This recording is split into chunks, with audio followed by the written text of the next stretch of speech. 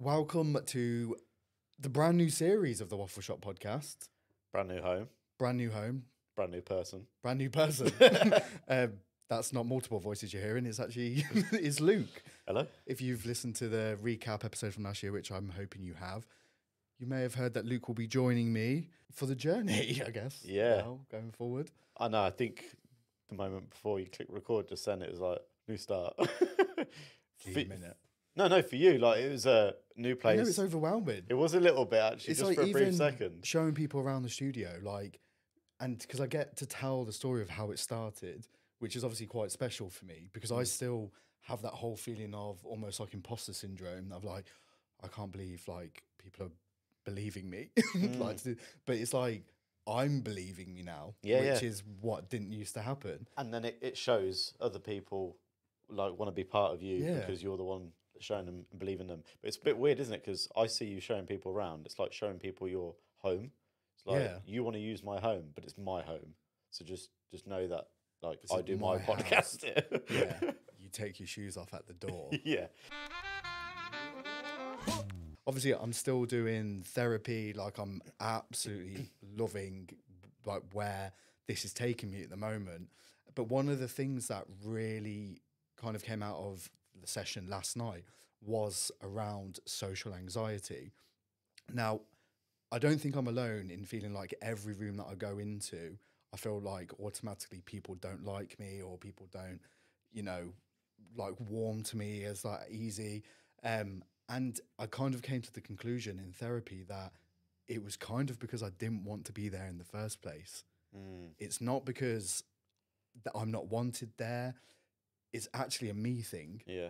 it's because i don't want to be there So you're trying to talk yourself of Yeah. getting out. and I feel like it's kind of it comes it's been very apparent, especially the kind of the past six months that I've had, is that I was constantly trying to force myself to sit at tables that I didn't want to sit at. Mm. And it was almost kind of I got to the bottom of it in therapy and like having more of a conversation about it. But it, it came down to it being a survival technique. Mm. Because I was kind of in like family situations or even social situations that I had this real craving of like trying to fit in, trying to be liked. And so I felt like I had to go to these places, I had to be in these circles, Right. I had to be around those kind of like family members. I didn't want to be, Yeah. but it's felt it was like what I needed to do to survive. Yeah. So what what spaces do you want to be in? But that's the thing, I've never had the luxury of asking myself that. Right. So this is why it's So you've been quite a- forced into situations like, I just don't like Yeah, it. but and that's not saying people have forced me to. I think I've it's been me who's forced myself into these situations, Yeah. thinking that okay, well that's what I need to do to be liked. Right, okay. Whereas it didn't really suit me in the long run, Mm-hmm. you know. And I'm I'm a very kind of open person now when it comes to kind of like my time about you know if I don't want to do something, I'm not going to feel guilty for not wanting to do that. Mm-hmm. Like so, if it is a no, it, it, it's a no.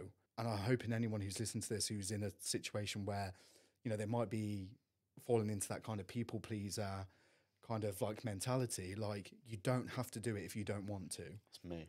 And if they do have an issue with you not doing it, it's their issue. Yeah, that people pleaser is is a problem. Has been a problem of mine, Mm. I think, because especially last year, I say yes to most things, but my one of my things this year goals is to default with a no. Yeah. and I think saying yes, I think rea- realized last year that it doesn't just detriment me and me running around everywhere; it detriments the family Yeah. that are at home because I'm saying yes to things that they're not involved in, and then I'm taking away from time that I'd be with them. I don't know if you've seen this, but Madonna did a show at Madison Square Garden recently and she turned up two hours late. Yeah. The show was supposed to start at half eight. She turned up at half 10. People in the crowd have now filed a lawsuit against her. They're suing her because of the knock on effect about them not being able to get home, like Yeah. that affected their working day, like the day after. And I kind of, to be fair, I wanted to ask now, like, would you have waited? Probably not. No, well, again, logistics. So that they're always this is what I mean. on my mind. But yeah, if you've got to get a train home or you got parents looking after the kids, like, and you're meant to be back at like eleven o'clock, which is touch and go. But if you're going to be back at one, it's Madonna's fault. Exactly. yeah, Sorry, Madonna was late. I was like, But it, it was interesting because I was like, oh yeah, That's a good point. I was like, if I was in the moment, I probably would have waited. But then I was like, I would have been knackered the day after. Like anything past like half ten now, I'm like, yeah, I know. yeah, Also, your energy would have been sapped by the time that she came on stage. You'd be like, exactly. And when it comes to like going to gigs anyway, it's like, well, when do I go? You have to like strategically go to the toilet, strategically go to the bar. yeah, yeah. Like you have to do all these things strategically because you don't want to miss the like the start. You don't want to miss your favorite song. Yeah. I guess it would depend if they were keeping the crowd updated. She's going to be two hours late. Yeah. People would have known what to do. But like, if you don't know, you're kind of like, I don't want to leave. I paid this ticket. So it depends on that as well. I want to tell you about something that I did recently that I think yeah, I think you've done it before, but it was was, I think you're a fan of.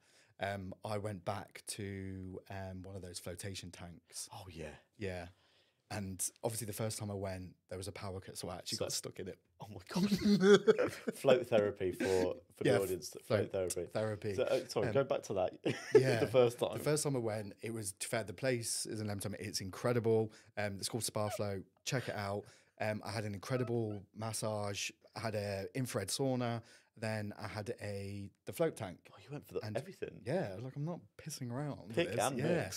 Um, and it was incredible, incredible experience. But then someone had to knock on the door and was like, um, "There's been a power cut."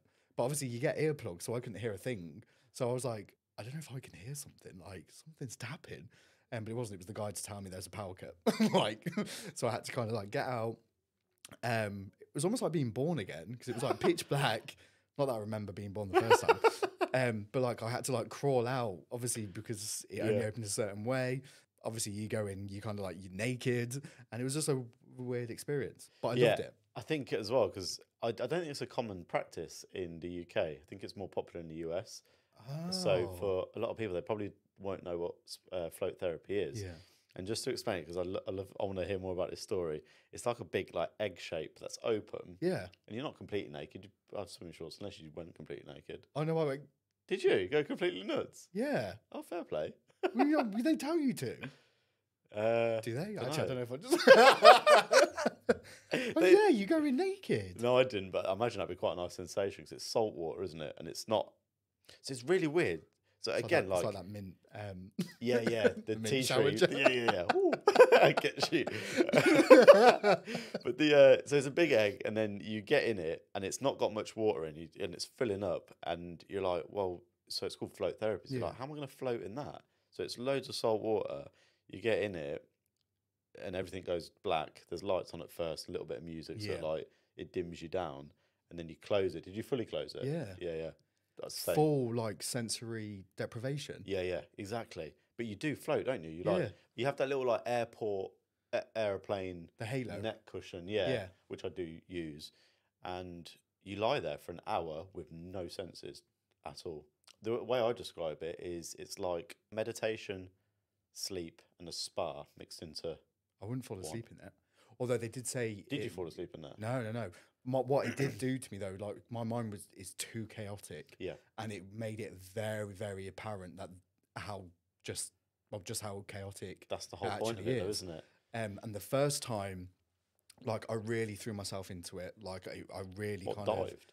of. No, no, no, no. I don't think you could. No, No. too shallow. No, don't do that. Actually, um, like I and I really kind of like got something out of it. Mm. Um, like I really enjoyed it. The second time I went, which was quite recent, I started to see lights. Do you know the reasons for this? Well, I didn't um, until I because I was a bit cautious about saying like I was in this flotation tank. I was seeing like these blue and kind of like purple lights, um, and I didn't want to say anything because I thought they're going to think I'm an absolute weirdo and cart me out of the shop. Um, but I mentioned it, and she was saying like, "Yeah, it's like your aura."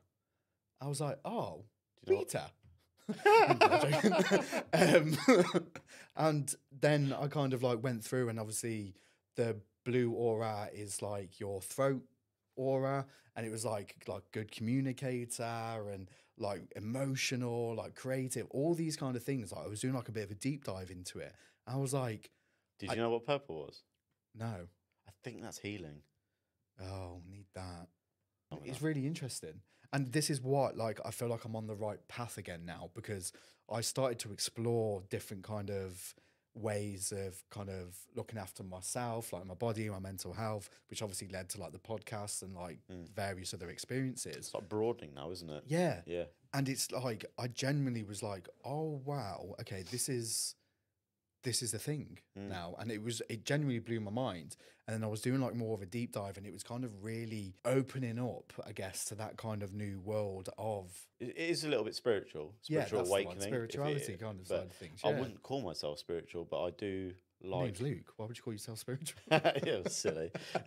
Oh, but I do love the whole wellness aspect, and I share stuff on Instagram. That's not my own post, but the, the stuff I like to share. And there was one the other day that was like a battery full, a battery half, and a battery empty, and it said you need rest here, and it pointed at the middle one Yeah. because when you get to the bottom of the re- like low battery, it's too late. You're you're burnt out. Yeah. Um, but that was the day before I had my little wellness day yesterday, where I would I would have liked to have done something like you did, but I had like some other work bits to do. So I think why I didn't do that is because it completely cut myself off from everything. 'Cause you, did you do it on a Sunday? Yeah. What a great day to do it. It resets you up for the week. Yeah, that's a great day to do it, and you you don't have work on your mind Yeah. as a like a default. But yeah, yesterday I went to a health club, got there at seven.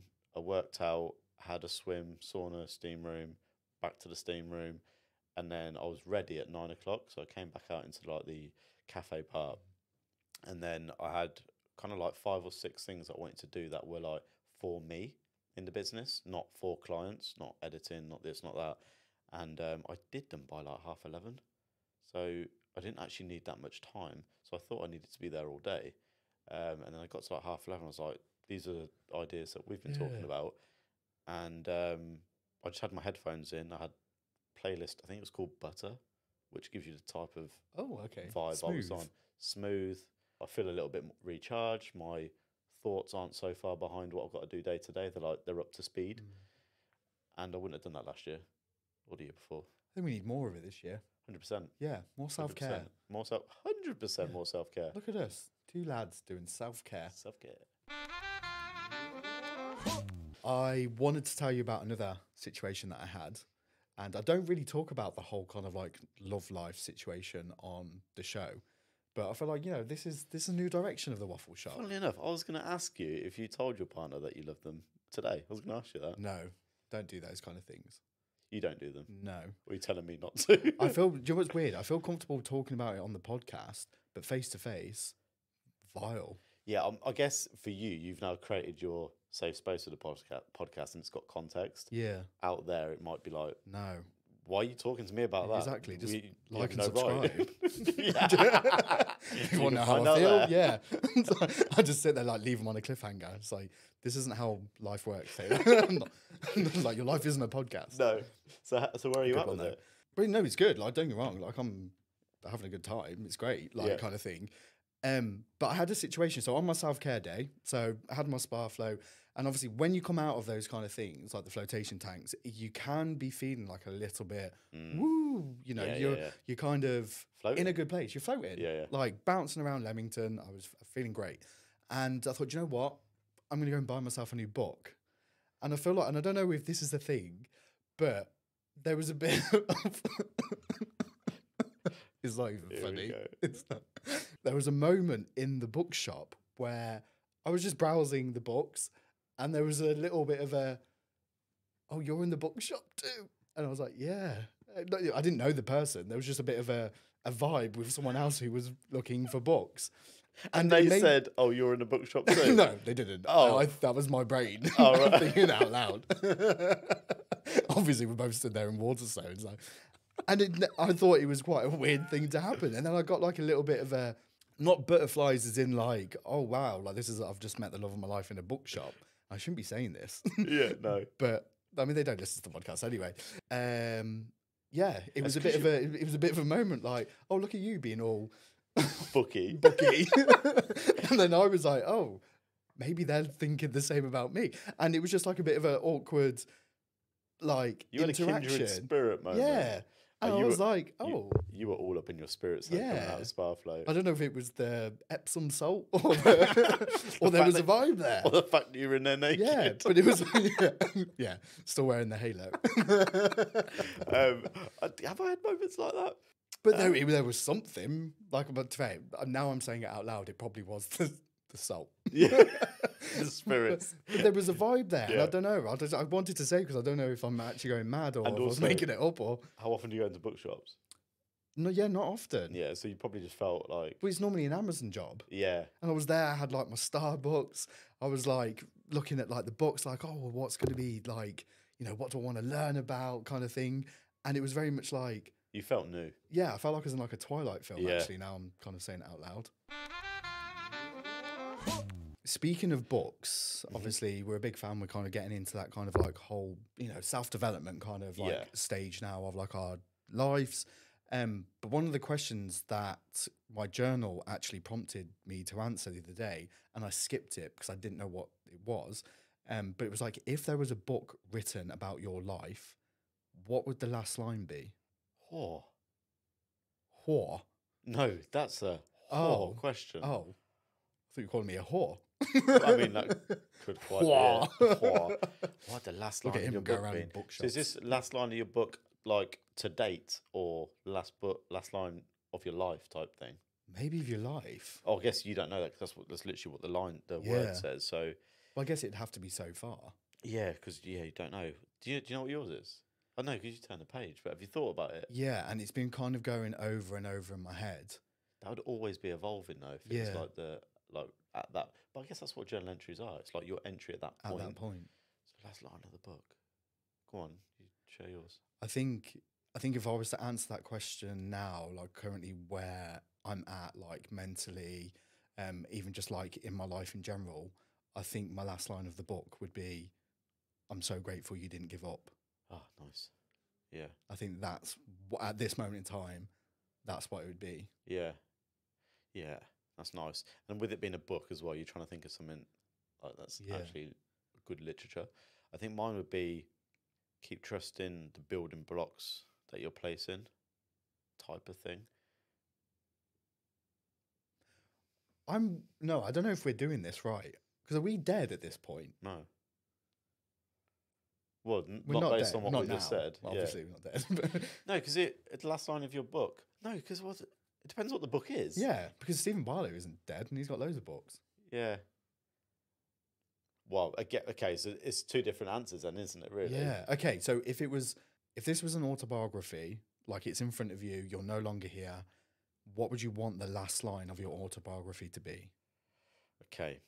Luke has left a legacy of not just a company, but a feeling.